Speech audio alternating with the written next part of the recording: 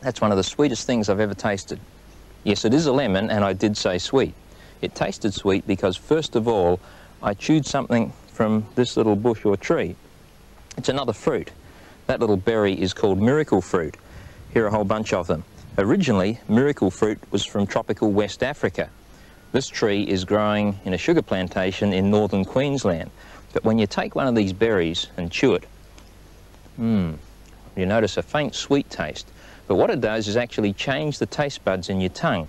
It knocks out all the sour taste buds. So for the next two hours, it doesn't matter what you eat, it'll taste beautifully sweet, even a lemon.